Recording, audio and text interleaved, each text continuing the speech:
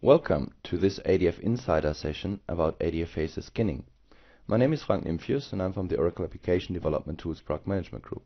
In this session, we want to explore skinning, a facility within ADF Faces that allows developers to put a custom look and feel on top of the ADF Faces Java Server Faces component set.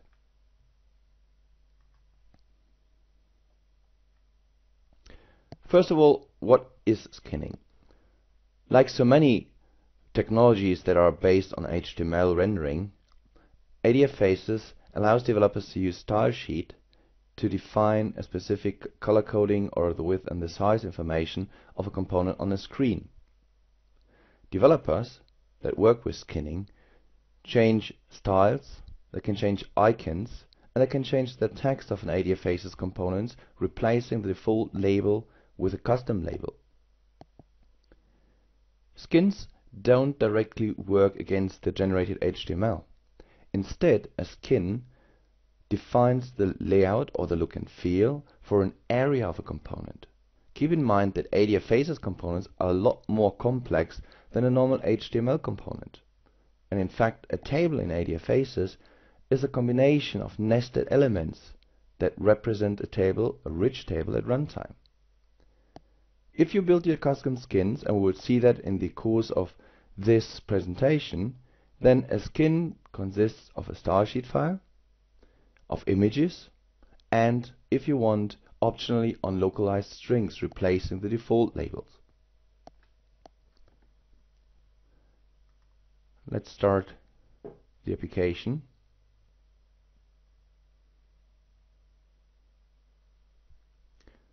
This is the front end of the application that we want to skin or put a different layout to. And as it only has an image so let's log in.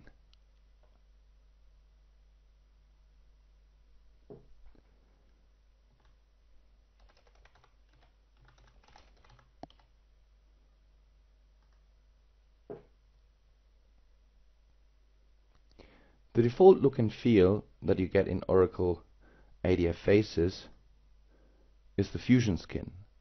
The Fusion skin is a bluish skin, grayish thing that provides you a nice little user interface that I would think might be close to what you like, but not necessarily what your corporate look and feel is.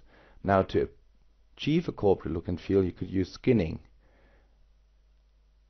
And here I do have a selector that allows me to see what skins I have configured within my application. Now one skin that you find within the ADF Faces component samples is called Princess Skin.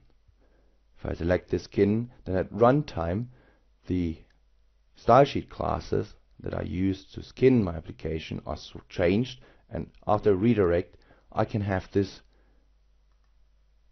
application running with a completely different look and feel, though you still see that the components that are used are exactly the same. So we're not changing any component in here.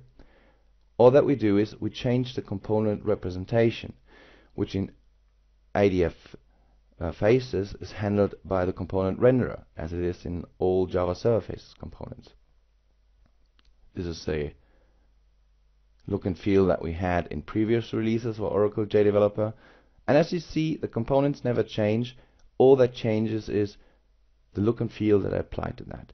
Now, in the remaining of this presentation, what we want to do is we want to see how that could be done and how you could build your own custom look and feel with this technology. In addition, we also want to look at what you need to do to dynamically switch skins and explore the skins that you have available. Let's move on. So let's first talk about the use of style sheet in ADF Faces. Well, every component, every Java Server Faces component, of course can have inline style sheet. If you worked with Java Server Faces components, not necessarily Faces, then you might have seen the style class and the inline style properties of a component. Now these would allow you to put style sheet directly on it. One thing you see in addition in ADF Faces is a property called content style. Now, and this has a reason within the complexity of the ADF Faces components. If you style a component with inline style, then it attempts to style the top root component, which could be a wrapper around the real component. In our case, for instance, a text component is very complex because a text component has a label and it has an input text field. Now this is grouped by a div element maybe. Now if you style this with an inline style property you would exactly style the div element. Now to do this, uh, to style the real thing, to style the, the box, the input text box, you would use content style because the content of the component is what you want to style. And this allows you to control the width of, of the control, it allows you to do a border around the box, and so on. And you see a list of components that have that, including the shuttle, list boxes, input components, they all have content style. Of course you could use inline style and style classes, but as said, they're just styling on the top level. Sometimes that's exactly what you want to do. I guess in many times it's not what you want to do. The style class property can be used with skinning in addition, so keep that in mind. Because if you want to skin individual components on a page, like you have two panel boxes on a page and you was, want to style just one of them, then style class could give you a namespace, a little identifier that you can put onto a specific panel box that you want to style. But beside of this, if you don't want to use um, skinning at all, then style class, inline style and content style is what you can work with. Using content style and inline style would allow you, for instance, to do conditional formatting as we see on this page. Now in the salary column, what we have is this table cell, the column cell for salary, is rendered by panel label and message. So it fills up the whole space and then we put the background image based on an expression language that evaluates the salary. And then you can see here the rules are mentioned on the slides, after which the background is green, red or orange. So this is what you can do with inline style pretty quickly. And if it's just all that you need to do, just have a quick conditional formatting, then for sure using direct style sheet in ADF Faces might be the easiest way to go. But if you want to put a full custom look and feel. If you want to have your application no longer look like Oracle, but like your corporate look and feel, then there's a bit more required than that. Then you have to go to skinning. Now, skinning, as said, is just a formalized way to use StyleSheet and to apply StyleSheet onto ADF Faces components. So the component developer knows his or her component the best. So they make sure that specific areas of the component as they get generated in HTML are marked with style classes and these style classes that we generate at runtime are represented through skin selectors at design time. So, how does skinning work? Well, first of all, when you run an application the first time, it generates the style sheet. Yeah. So we do have a style sheet file at design time, but this gets generated for as a specific style sheet, as a browser specific style sheet at runtime. The skinning framework transforms skin selectors, and skin selectors are not necessarily HTML selectors that you know from StyleSheet if you're familiar with that. It transforms skin selector definitions into style classes, and at runtime these style classes are looked up by the browsers, and they're referenced from the external StyleSheet file that you prepare and that gets generated. Every component as we build it every 150 plus component that we have in ADF Faces uses a renderer, an external class to define its look and feel at runtime. Now, this renderer class also defines the hooks that it looks up at runtime to apply a look and feel. And these hooks are called the skin selectors. On the last line on this slide, what you see is a skin selector called AF colon input text double colon label. Now this skin selector skins the label portion of an input text field. Next to it you see the generated uncompressed style class name AF underline input text underline label. Of course at runtime you won't see this that way because we obfuscate the names so you would see something like x25 x27 because we reduce automatically reduce the size and the um, the page size that a comp um, component skinning takes at runtime to make sure that the performance is not impacted.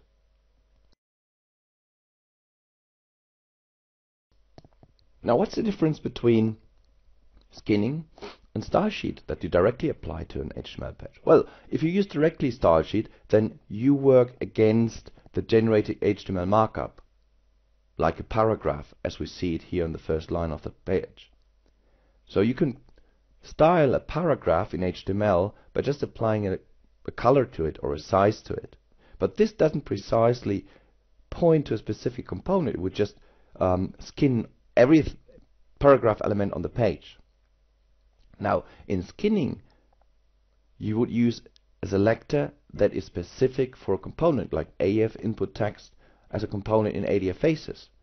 And there you see the skin selectors AF with a vertical line at design time, AF vertical line input text, and there you apply color red. Now in this case, this information would be applied to the outermost component rendering the text input field. So that will put a color onto the label. Yeah. So if you wanted to put that onto the contents on the text that the user enters into the input text field, then you would use a more precise skin selector, AF input text content. You can use pseudo elements within HTML and you can do so within ADF faces as well.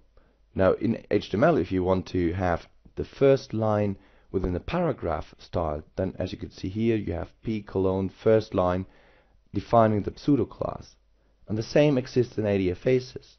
So we're not so different from using straight style sheet. And if you're familiar with style sheet, if you have a good background in styling HTML pages, then getting from HTML styling to ADF styling is just like learning about the skin selectors, which of course there are many, but there are ways to discover them. Now, I mentioned that skins exist not only from style, or style sheets, so there's a configuration file called Trinidad skins. As mentioned, Trinidad is the base of ADF Faces component, so we use the configuration file here, Trinidad skins. Now that allows you to define more than just one skin, and as you could see in my sample that I showed in the beginning, I had a list of skins that I could switch between, and each of the skins had an entry in the Trinidad skins file, and from there I could discover the skins, and I can switch the skins. The Trinidad skins XML file has to be in the web inf directory of your application so that it can be picked up and looked at at runtime. The Trinidad.config file has an entry of the current active skin. Now this could be a static information as we will see in the next slides or it could be dynamic. Yeah. So you could use expression language to reference the skin that you want to show as a present which would allow customers or users of your applications to switch skins dynamically at runtime as they please. Or you just put a reference in their preference files so that whenever they come back to your application they get their custom look and feel.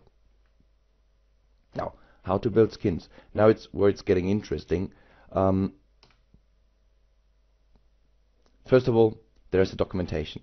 Now this documentation is on OTN. You find that on the developer guides, um, where the development docs are, in the API section. There is a document called ADF faces skin selector documentation. And this skin selector documentation is a very long document.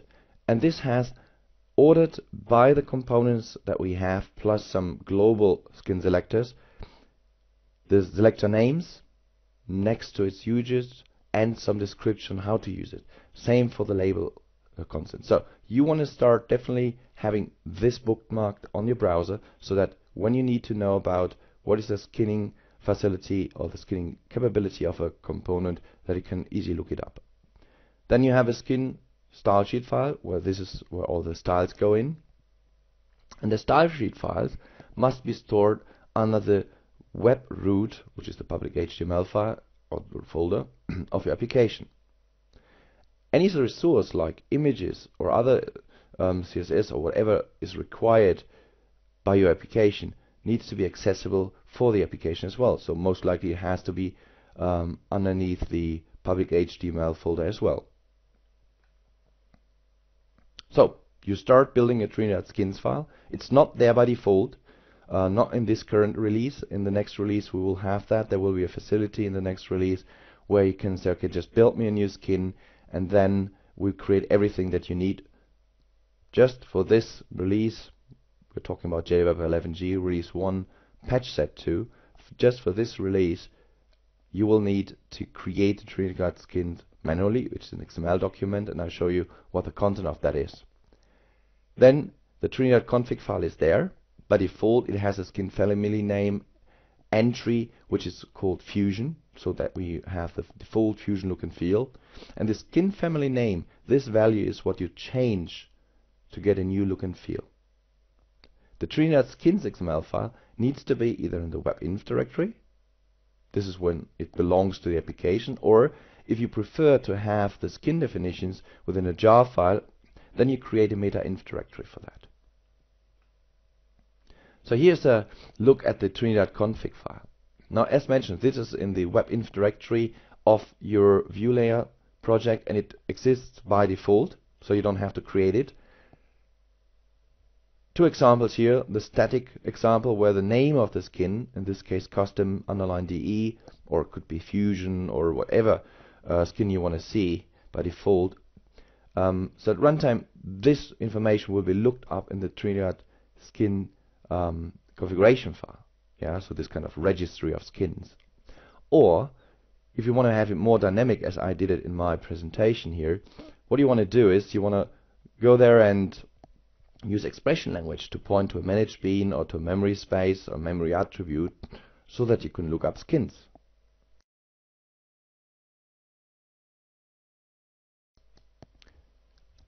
The skin configuration elements in the Trinidad skins configuration file have several elements. So there's an ID element and a family name element. Now we know that the family name element is used to reference a skin at runtime. The ID is used for inheritance, because a skin can inherit from another skin, which means that if you want to build your own skin, you don't have to start from scratch. You could just reference an existing skin. That could be a base skin of yours, or that could be the Oracle Fusion skin, or another skin that comes with the Oracle package. And to extend the skin, you use the extend stack. There's a render kit ID, which typically is unchanged, so it stays with the Oracle Apache Trinidad desktop for browser-based applications or with PDA if you have a mobile application. The stylesheet name element points to the CSS file that contains the styling. And then optionally there's a bundle name element that points to a properties file or to a bundle file to a um, resource class of yours where you override the default labeling. So let's have a look into a completed Trinidad skin example. Now this is how a Trinidad skin entry looks like. What you see here is that the slides defined a new skin called Blaf Plus Rich Extended, which is just a name that you can make up as you please. So that could be my company, Rich Extended, or whatever. This has an ID, which is exactly the same name as a family name, followed by a .desktop for browser-based application, or .pda for mobile applications. This allows us to use two definitions of a skin for different devices. Yeah. Then there is a stylesheet name. Well, this references a subdirectory of the public HTML directory that I created called skins, and in there there's a blaf plus rich extended CSS file. It extends the Blaf plus Rich Desktop class, and this is one of the default Oracle look and feels. It's a default look and feel we had before uh, patch set 1 when we changed to Fusion, um, and it's still shipped with the product, and you can use that. And here you see also, as the last entry in this example, the bundle name points to a resource class. Now this resource class just needs to be in the class path for the view uh, project, and in my case it's called ADSC resource bundle. And in there I just wanted to change one of the default labels. Now every component, every ADF Faces component has its own default labels. Yeah, for instance, if you take a, a dialog, a dialog might have two buttons, OK or cancel, uh, or just the OK button. Now what if OK should be submit. Now in this case you would overwrite the default label. Yeah, that's the use case where you would use that. Let's have a look at the bundle example. So you create a bundle and see here I have a public class ADSC resource bundle which is my bundle name that I configured in the Trinidad skins file and I'm extending the list resource bundle. And all I have to do is just overwrite the component label that I want to change.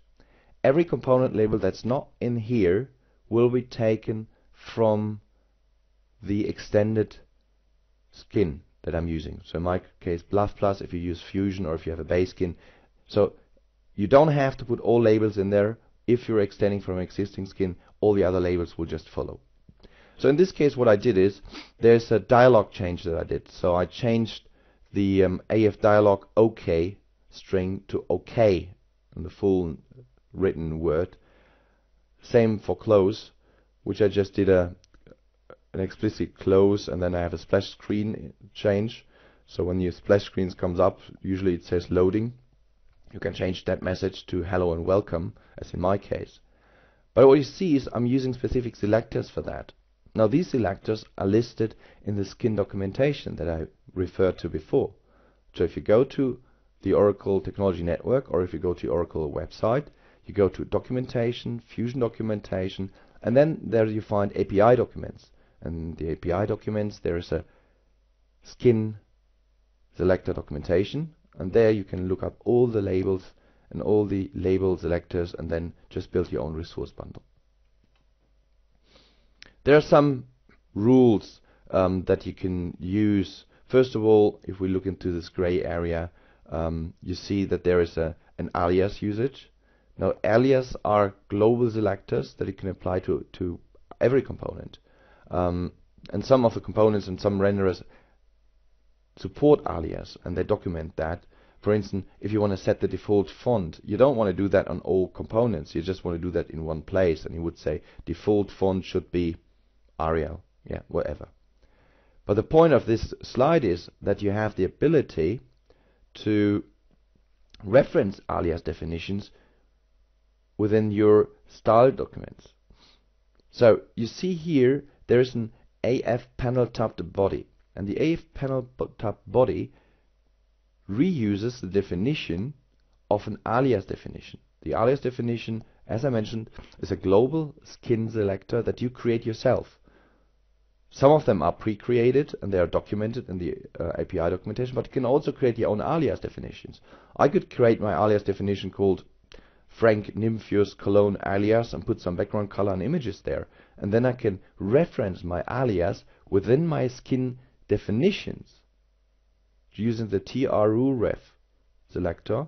And then I could just point it to my alias. Now this allows me within my own skin building to reduce the size that the skin file has to a minimum and that I can reuse skin definitions. Yeah, If you know that the components you skin will all have a specific background color if they have one, or if the hovering of a mouse or a component will change uh, specific colors. Now if this color is always the same, you don't want to hardcode this all the time. So you want to just create it as an alias first and then reuse the alias there.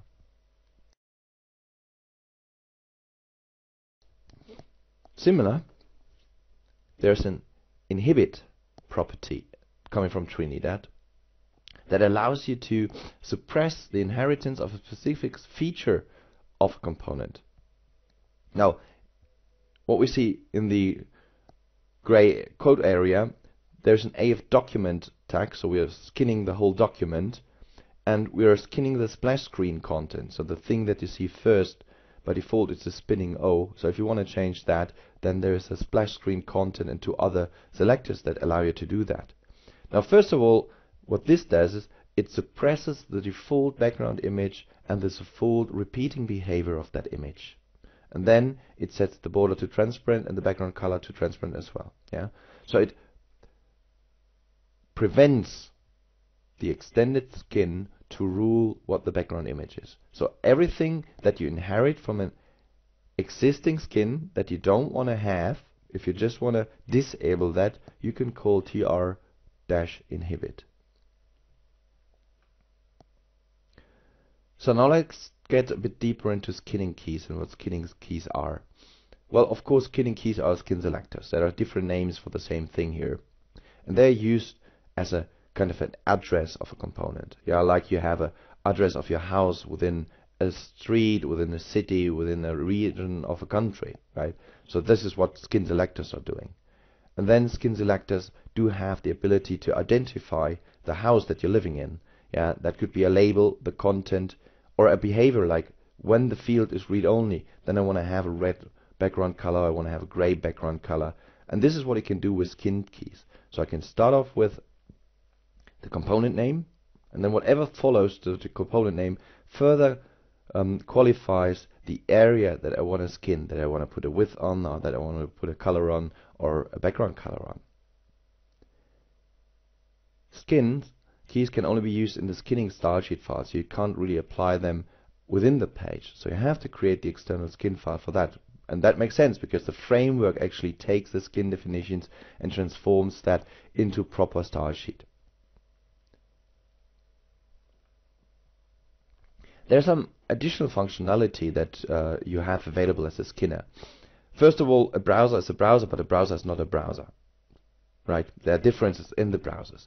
If you work with IE, or if you work with Firefox or with Chrome, you will always see some nice little differences in the look and feel, uh, mostly in, in borders. Yeah, so IE um, is very uh, famous for uh, having a bigger width on the border than, for instance, um, Firefox. Now, if you want to have a consistent look and feel across different browsers, then you could use the platform or the agent facility. Uh, it's an identifier, it's just a marker for the skinning framework to determine um, that additional styles need to be applied. So you could say agent IE and then you put the skin definition there. At runtime, this will be looked up by the skinning framework and they will identify, oh, this is IE that you're running on. Now this additional um, style sheet has to be applied on that. Same if if it's a Linux client, for instance. Yeah. So if you want to detect the operation system, if you want to re respond to the difference in the operation system, which could be mostly fonts that might exist on one operation system, not on the others, you can apply that as well, and you can change it through style sheets um, by looking at uh, what the platform is or what the agent is. Then there's the ability to look, look at the locale, so you can have skinning for specific locales. If there's a need for that, then you can do that. Um, on IE currently supported, there's a ref, uh, right to left reading pseudo class that would allow you to skin um, your look and feel for the right to left reading behavior, uh, in which case you might have different shapes of the boxes that apply to this change in the reading order. But this only works in Internet Explorer. And then you can specify aliases um, that will allow you to reuse skin definitions, style definitions on your page. Here's an example on how to skin tree, especially styling the expanded icon and the collapsed icon. You use normal style sheet for that, so there's nothing different from ordinary style sheet that we use here.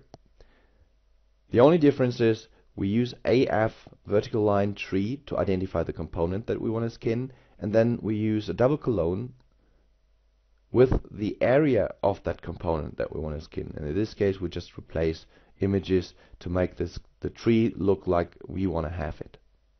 Pretty straightforward. And this would be the information in the style sheet class referenced by the Trinidad skins files. So let's have a look at the skin configuration file within um, JDeveloper. This is the example that we looked at before. On the view project,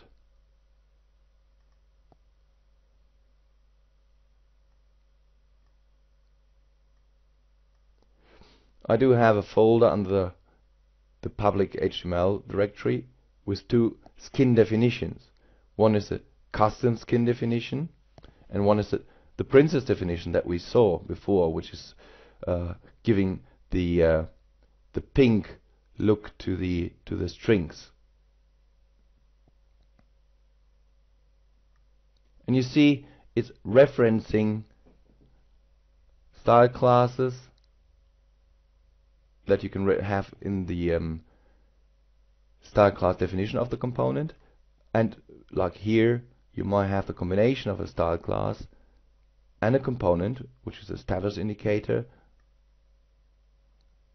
here's skinning of decorative box which is an element in ADF you see it's using themes this is just a if you're an experienced style sheet developer it's an attribute styling that it's using there and this is the definition that makes this the princess file. Now let's look at the definition for princess. In my web info directory I do have a Trinidad skins file and here you see my definition of princess skin. So the idea is princessskin.desktop and I could make it up the way I like it because there's no rule for what the naming should be.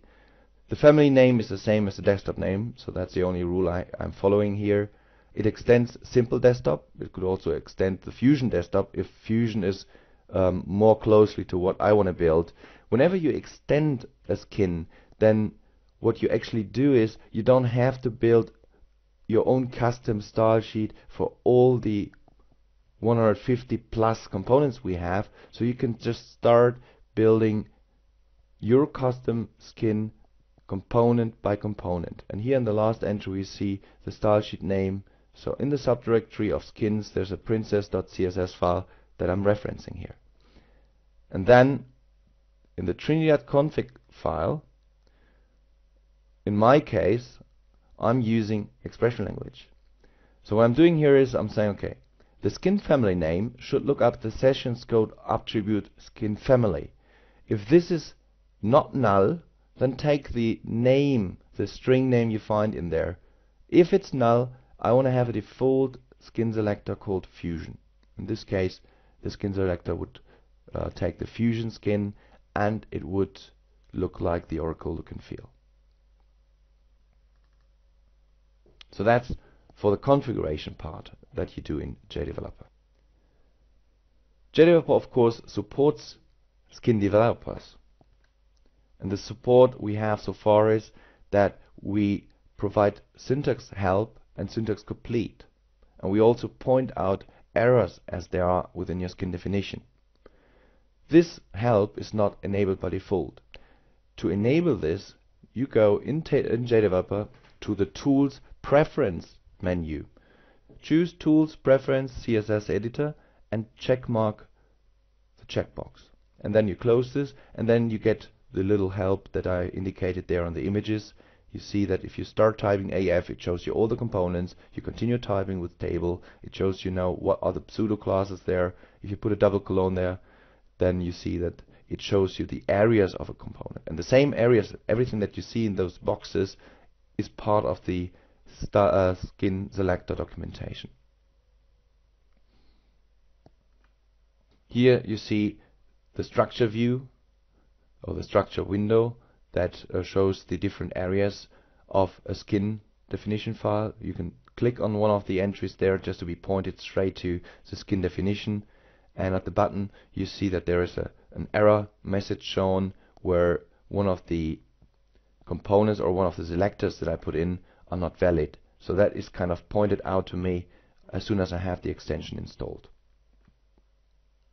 Themes. I already mentioned themes as an attribute styling. Now the background of themes is that some of the components you probably will nest on a page. So you might have nested decorative boxes or you want to have nested panel stretch layouts. Now if these are all taking on the same skin, then you wouldn't be able to distinguish between the one panel stretch layout and the other one that is embedded. And to help you with that, there is a property called theme. Theme by default can have a, def a defined set of names like dark, light, uh, medium, and that will just apply for the default look and feel that we provide shades, different uh, uh, toning of the colors. Yeah, and you can do the same within your skin de uh, development. You could say, I want to build a skin that just addresses the dark theme, so it changes the look and feel for a component of the dark theme. This gives you a lot more fine grained control over when the component will appear to look like what you want it to appear. Now, themes, keep that in mind. If you're an experienced style sheet developer, themes are applied as attributes styles. Yeah, so we're styling the attribute called theme on a component. Here is an example. I have a panel tabbed, which is just a, a tap panel, and you see that when I skin this, and if I want to skin the dark theme, and I want to put a red font color on it, then I use AF vertical line panel tabbed just to identify the component and then in, in brackets I put in theme equals dark or theme equals medium whatever but the name that I'm using there needs to be provided by the component I want to skin and you see in the property inspector on the right hand side the theme is set to dark yeah? So this skin would now apply to that component. And on the page itself you see there's an AF document and then theme is added as an attribute of the component, but at runtime it gets created in the generated HTML output as an attribute of the HTML component. This is for backward compatibility. So um, before we had themes in Java, which is now the preferred way of doing so, uh, we had tonal styles. Now in this case, uh, tonal styles by default are disabled. So this is just for an information for people who come from an older version of ADF Faces and that did actually rely on tonal styles. You can switch this on in the WebXML file. The rest of you who never worked with skinning before, uh, you don't have to bother about tonal style because they're um, obsolete, they're no longer used. Now we use themes. Now let's talk about some advanced topics.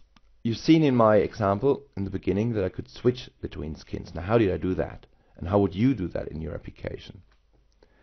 Well, first of all, I created a managed bean because somehow I need to tell my application that um, a user selected a new skin. And for this I created a managed bean called the skin chooser and handler and I put that uh, managed bean to session scope. And this is only because it needs to remember the, the state that I selected. Yeah, if um, I, I am not dependent on the the bean to keep the stage uh, the state, then I could just put it into request scope. In my case, it's in session scope. The Trinidad configuration file references a session attribute called skin family. In my live example, in my JDeveloper environment, you saw that I did a uh, check for null if the component is, is null to avoid that I get a simple screen but a um, graceful default selection. Um, for space reasons I just took that out on the slide here. And then there's the select one choice component which also references for its default value the session scope attribute and then I have a select item configuration pointing to the bean to the managed bean and what the managed bean then is doing it's just like looking at my ADF Faces component framework trying to identify all the skins that are available so you see it's accessing the ADF context. Then it's getting the session scope from there. And in the managed bean, it's then, first of all, when it loads in the constructor, it first of all puts a default skin name in there. Now in my case, the default skin name is Fusion. Yeah. So this basically makes sure, in my case here, that no matter what, I always will have an attribute set in the session, which is why on the previous slide I don't necessarily need to have the null check because I made sure in the managed bean that there will never be uh, a null. So we will discover this in the um, in the JDeveloper IDE later on. Um, this is just the way how you would access your framework to look into what skins you have available. Of course, you can you can hard code the skin. So if you have a fixed number of skin names, you can just hard code these skin names in the select list um, and just show that one. But it's a lot more dynamic and more flexible if you read the existing skins directly from the framework. So here's my managed bean class which I call skin manager First of all, in the constructor, as on the slides, I did set a default value and you also see I'm doing a null check in here because if there's a skin set then I don't want to overwrite that information. The skin choices are a list of select item. Select item is a component of JSF to populate lists. So what I'm doing is I'm going to my framework and telling it to give me a list or an iterator of all skin definitions it can find. Now this skin definition could be part of the product stack, like the Oracle default look and feels. This skin definition could be part of my Trinidad skins definition file, so it would pass that file. But it could also, that if I have my custom skin within a jar file, then this, if it's on the class path, also will be looked up for the skin definition. And it will return the skin name for that.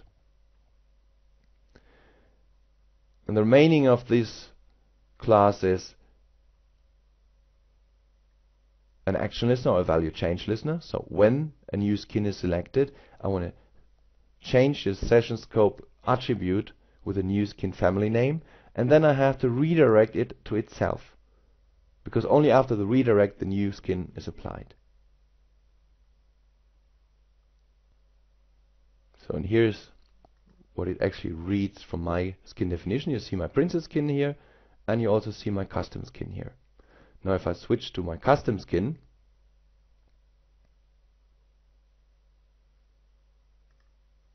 then what you see is nothing. Well, the reason for this seeing nothing is because my custom skin currently is empty. Yeah, so I'm redirecting to my custom skin, and you see it's completely empty. Yeah, it's nothing in here. And this is, it extends the fusion skin, but it doesn't have any style, style information there. But we are going to change that. So, if we want to discover a skin, and this is what I said, we're going to change that. Now one way to build skins is to look up the skin definition. Another way is trying to discover the skin at runtime. Now what area of a component is rendered or defined by which skin selector? Now I could discover that at runtime. And here for there is a property I can set in the web XML file called disable content compression. By default, everything is obfuscated in uh, Oracle JDevOps and ADF which means we try to reduce the, the, the size that we need on a page uh, to style a component. Yeah, so we kind of obfuscate the name from this long skin selector name to a very shortened name. You can disable that content compression, after which you get a more meaningful name, which allows you to translate that name back to a valid skin selector. Personally, I prefer Firebug to look at my um, generated HTML output. In recent version of Internet Explorer, there's an equivalent tool that allows you to introspect the, the DOM tree of the generated ADF component such that you can identify which style classes apply to which environment. Firebug, as said, is the, the tool of choice that I'm using. Plus, there's another um, plugin for Firefox, which is called the Web Developer plugin. Now, the Web Developer plugin allows you, and that's the, the point for this session, it allows you to change style sheets on a generated output in the browser and see the effect. And these two, Firebug and the Web Developer plugin, allow me to um, to identify um, a specific area in my application. So let's have a look how that works. So coming back to my application, I have Firebug installed, so I open up Firebug. And the next step is to open up the web developer. This is what I have in the menus. Oh, it's under tools, web developer, style sheet and there I have edit CSS. So this opens another editor and this editing screen now shows all the style sheets I have defined on a page. Oh, you see after it refreshes. So I'm not I'm not really interested in, in all of these because I want to identify my style. So I just create some blank lines here. Now what I want to do is I want to skin my table that I have here. So in Firebug I choose this icon here that allows me now to look at the definition of a specific area on my screen and this is operating on the generated HTML already yeah so I want to see for instance how can I skin the table header yeah and when I when I select something in here what you can see here is an AF underline column underline column header cell content now this is a style class that is generated out of a skin selector that exists in the render kit. Now, if the rendering or the style class is not set or has no associated style sheet, then the rendering is just like the default. Now, one thing I typically do first is just to, to see if my, my, my thinking is correct. I first add the style class just by copy and pasting the string. And first thing I do is I apply display None. Well, you see, the table header, the column header is gone. Obviously, I picked the right class for that. Now I could start doing some cha changes. And it's always, or it's not really that you start um, doing skinning for all components at once. So typically you have one component after the other, yeah, which is why this approach, though it appears to be very cumbersome, in fact it's not, um, because you just focus on one component, you look at the component, and then you try to derive what the skin selector for that could be. Or you can just look it up directly. But these two plugins give me the ability to do online editing of the color coding of my application. So I have a background color, uh, and I want to have an additional color. Oops. Okay, so I, I should be happy with that. So you, you get the idea, and now I copy this string that I created to the clipboard. All I do is I just copy that. And now I go back to JDeveloper. Now I go to my custom skin, and you see it's blank. It's it's empty because I'm just started to build it. My custom skin extends the Fusion skin. That's the only reason why I do have a default look and feel. Now, I copy this in. And this needs to be translated back to a valid skin selector. First of all, skin selectors never start with a dot, so I can remove that. If you look at the skin selector documentation, the first element between the AF and the component name always is a vertical line.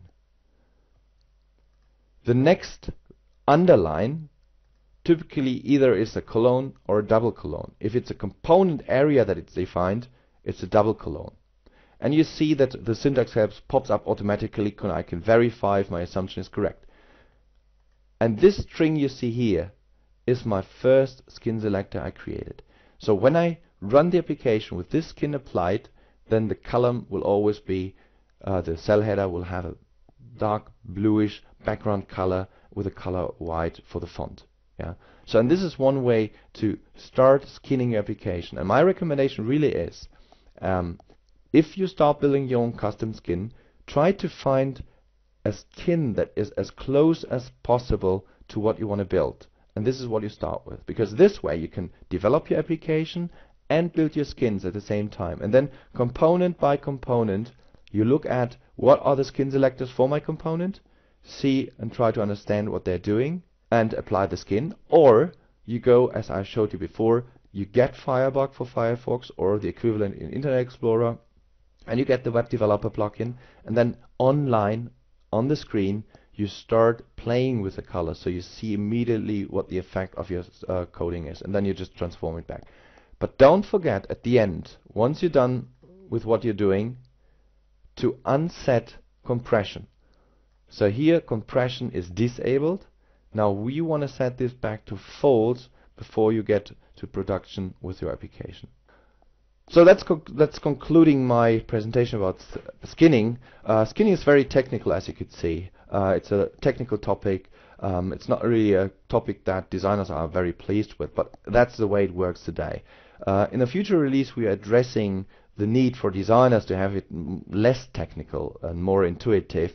So we're working on a visual skin design time environment in which you just select the component and then uh, we show you what are the selectors for the component and you put your styles there and JDeveloper will immediately show what the impact of your styling is. It will also make things easier like um, because what I didn't explore in detail is that we do use images for um, rounded corners or rounded shapes that we have in our component stack and you would have to build custom versions of these images and to discover all this the new upcoming um, skin design time uh, does a fantastic job to simplify the task and that definitely will please uh, designers. But actually today it's a technical topic and I hope that this session helped you to understand how you do it uh, gives you one or two hints of what could be useful for you to build your custom skin. I always suggest to start with a base skin. Even if you build your custom skin yeah always start with a base skin and then extend from your own base skin and that could extend from a defined or default skin definition. Anyway OTN is your place to go shopping uh, if you want to have more information. Um, there are the developer guys have a link there there are samples there are discussion forums just in case you have questions um, regarding this session here just post the question to the OTN forum for JDeveloper and we'll pick it up there. The homepage for the ADF Insider if you want to like to watch more uh, recordings like this and there is a specific site I'm running which is called the ADF Code Corner uh, where I provide more in detailed hints and tips. Thanks for attending and hope that uh, that was useful and see you for the next ADF Insider.